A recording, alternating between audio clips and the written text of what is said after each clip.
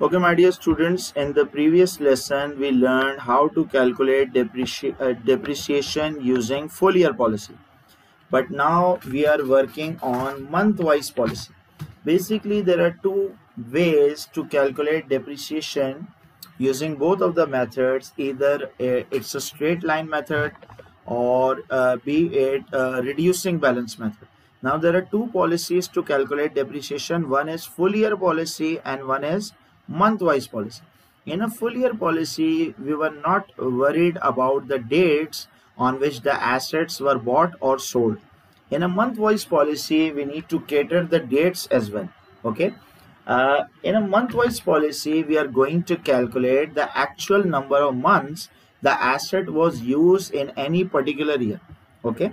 If we have bought the asset on 1st January and the year is ending on 31st December, and we still have the asset at the end of the year. So therefore we have used the asset for the entire year.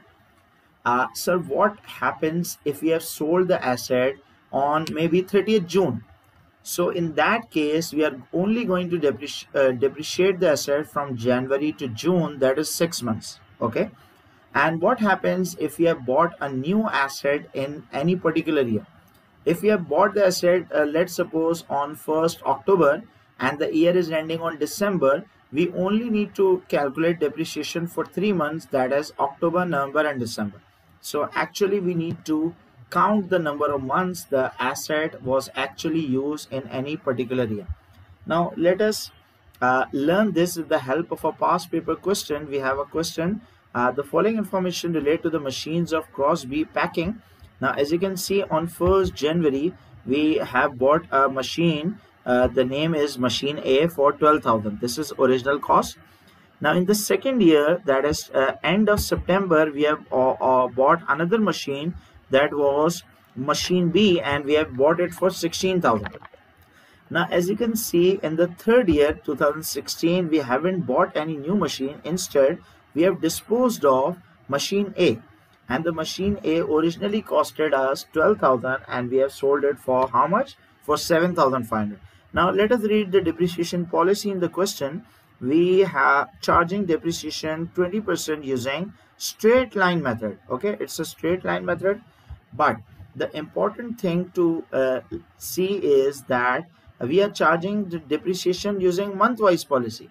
Now where it is written, depreciation is charged in the year of purchase or sale is based on months of ownership. Now this is important we are charging month-wise policy and it's written months of ownership. So therefore, we need to calculate depreciation using what? Using month-wise policy. Okay. Now, uh, what we need to do, we need to chart depreciation using month-wise for both of the years, that is 2015 and 16. Now let us see how we can uh, calculate depreciation actually. In the examination, uh, the space for working is also given. Now I have made this table for final answers and I have also made some column for working.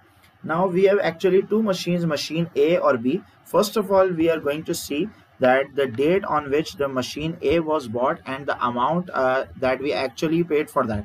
Uh, we have bought machine A for 12,000 on 1st January 2014. So this was the original cost on 1st January 2014. Uh, but as you can see, we need to calculate depreciation not for 14 but for 15 and 16 now let us worry about uh, 2015 first. In 2015 we uh, had a machine a that we bought in 14 that is previous year. And in 2015 we have also bought machine b. Now the machine b that we bought we bought it at the end of september for 16000 so this was the date end of september that is 16000 so depreciation rate is 20% uh, so we need to charge 20% now the thing is that uh, if we apply 20% to 12,000, the depreciation is 2,400. Now uh, on machine A, we are charging depreciation for the entire year. Why? Because we haven't bought the machine in 2015, but instead we bought the machine in 14. Now as you can see, uh, it was bought in 14 also at the start of the year. Okay. So in 2014, we used the machine for the entire year and in 2015 as well we have used it for entire year. So we do not need to uh, charge for month wise uh, instead we have charged for the entire year because from 1st January uh, 2015 till December 50, 31st December we have used the machine for the uh, whole of the 12 months. Now let us see what will happen in machine B. Now as you can see we have bought the machine at the end of September. So therefore we are not going to uh, charge depreciation till September. Why? Because we have just bought the machine at the end of the September and therefore we are going to start using the machine from 1st of October. Now let us count the months in October. That is October 2015 then November then December. So therefore we have only used the machine for three months. So what we need to do first of all we need to apply 20% on 16,000 so this will be 3200 16000 times 20 percent 3200 and this 3200 is for entire year okay? But we haven't used the machine for the entire 12 months. Instead we have just used the machine for three months. So what we need to do we need to pro rata this and this is known as a prorata basis also. So we need to charge 3 upon 12 okay? So 3 upon 12 it becomes 800 only okay? So the machine b is only used for three months in the first year that is 2015 now let us uh, repeat this calculation for 2016 uh, now uh, have we sold the machine in 2016 yes we have sold one of the machine that is machine a in 2016 now let us move to the second year. As you can see in 2016 we have sold machine uh, a but uh, prior to selling it we have used it for six months. That is from January to June 2016. Now, uh, in a full year policy, we never charge depreciation on the asset that we have sold this year. But in a month-wise policy, we used to charge depreciation and we are going to charge for six months. Okay, so first of all, we need to apply 20% to the original cost and this again would be 2400 but this time we need to apply 6 upon 12 we need to uh, uh, proportionate it for six months only okay? So we are going to charge only half year depreciation that is six months. So half of 2400 would be 1200 okay? Because we have sold this machine machine a. Now, but now as you can see machine b we have just bought it three months uh, uh, just uh, before. So therefore we are not going to sell this machine because it's a newer machine. So we need to ch charge depreciation for the full year okay so what we need to do, we need to apply 20% on the original cost that is 16,000. So this year we are going to apply uh, full uh, year depreciation that is 3200. So this was basically month-wise policy. In a month-wise policy, we only charge depreciation for the exact number of months that we have used in any particular period. Now let us do one more exercise in order to understand this further because it is uh, bit uh, difficult area and let us do some more exercises for month-wise policy. Now we have another question with the name of Sarah and it is a, a bit a uh, complicated question and so let me read the questions for you. Uh, Sarah runs a wholesale business, okay, uh, and extract from a statement of financial position balance sheet at 31st December 2009 show okay? Now as you can see at the end of 2009 we have motor vehicles that originally costed the business 371 and the total depreciation that was charged till date was 130 and if we deduct both of these uh, we are left with net book value. And these is this is the data for 2009 now as you can see the next year is 2010 in 2010 what we have done we have uh, a motor vehicle that was purchased in 2006 for 9200 and this was basically the original cost. And we have sold this machine for how much? We have sold this machine for 500 and in note 2 as you can see we have bought another uh, vehicle for 1500 so we have sold one of the older vehicles and we have bought a new in uh, place of that. Okay? So the depreciation rate is 20 percent per annum cost. Cost mean it's a straight line method. But the important thing to note is with the rate being applied for each part of the year. What does this mean part of the year? Uh, it means it's a month-wise policy. Okay, it's a month-wise policy. No allowance is made for residual value and what is residual value we'll be covering it in the later lessons. so we need to calculate depreciation for the year 2010 now just remember if we have bought an asset and if we have sold an asset we have done both of them and it's a month-wise policy then what we need to do we need to chart depreciation in three steps. The first step in the first step we are going to chart depreciation on the assets.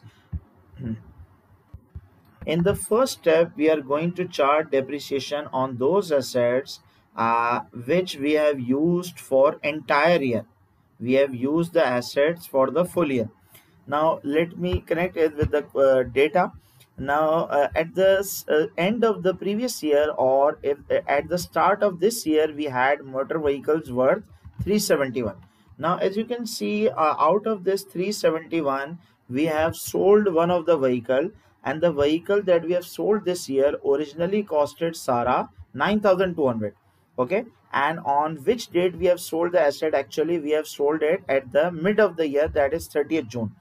Now this means we haven't used this asset for the entire year. Okay we have just used the asset for the six months. Now what are we going to do? First of all we need to deduct this asset. Why? So therefore we are left with assets that we have used for entire year. Okay so these are the vehicles that were used for the full year. So what we need to do? We need to apply 20 percent of that in order to calculate the depreciation. So this is basically first step then what we need to do we need to chart depreciation the assets that we have disposed of this year. Now as you can see in note number one we have sold one of the vehicle that originally costed Sara in 2006 uh, for 9200 okay? So what we need to do we need to chart depreciation on this asset separately. First of all we need to apply 20 percent on original cost that is 9200 and the answer would be full year depreciation. But as you can see we haven't used the uh, asset for the entire year 2010 that is 31st December. We have uh, sold the asset halfway through the year and we have sold the asset on 30th June. So what we need to do we need to apply six months depreciation that is 6 upon 12 okay? So this is the depreciation. Thirdly we need to chart depreciation on the assets that we have bought in this year. Now as you can see we have bought we have uh, bought a new vehicle on 1st April 2010 for 15,000. Now if we count the months from 1st April uh, running till 30th December, so these are basically 9 months. So you can calculate from April to December and there is another way to calculate this because April to December there are a many number of months so we can count the shorter months. Now how we can do that? Uh, January, February, March. Now, as you can see, we do not had this vehicle in first three months, that is January, February, March. Uh, we have bought it on 1st April. Okay, so I hope that's not an April Fool product. So we have bought this asset on 1st April. So what we need to do, we need to deduct the first three months from the 12 months and then we are left with for nine months. Okay, so what we need to do, we need to charge uh, depreciation for 20% on 15,000 20% on 15,000 G. Okay. So if we apply 20% on 15,000 the total depreciation would be I guess 3,000 but this 3,000 would be for entire year. We haven't used it for entire year. Instead we have only used the asset for 9 months. So if we apply 9 upon 12 so we are left with depreciation of 2250 now what we need to do we need to add up all of these if we add up all of these the total depreciation is 75530 so this is the answer basically for calculating depreciation using month wise. And now sir what happened uh, if there was a full year policy instead of month wise policy? If it's if it's not month wise policy sorry uh, then uh, what would happen if it was a full year policy? So full year policy is basically very easy. We'll be starting with the total cost of the asset that we had at the start of the year that is 371 so what we need to do we need to deduct the asset that we have sold this year and we need to add the asset uh, that we have bought this year okay? We need to deduct the asset that we have sold and we need to bought the asset that we have just bought this year. And the uh, balance is so the closing value is whatever it is we need to apply 20 percent directly on that amount and that is 75360 so this is basically a full year policy and this is how we calculate a depreciation using month wise policy